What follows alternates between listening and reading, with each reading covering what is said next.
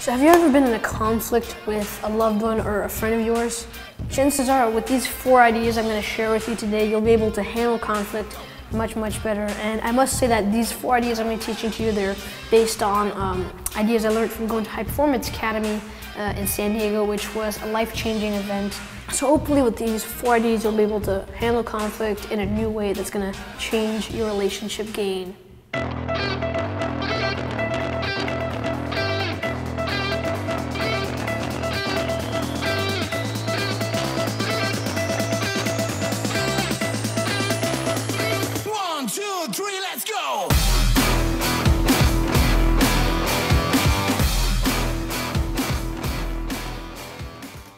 First idea to ask yourself is, why are you even having this conflict? I mean, initially, you're just asking them, you have, you have an actual goal to go see that person. So when you're in a conflict, ask yourself, why am I even in a conflict with this person?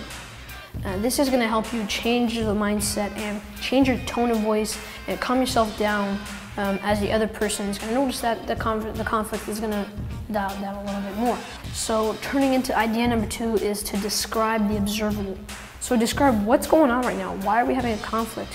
What, what, what's the turning point in this conflict that's going to help us identify what we actually need to be doing here?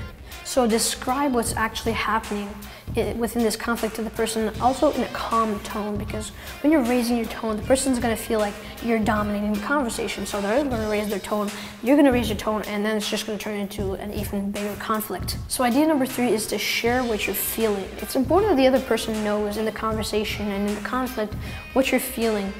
Um, feelings are extremely important in human relationships, so ex explain to them how you're feeling and how it's making you sad. Because if you just say you're sad, they won't really care. Explain why you're sad and what is it making that you're sad.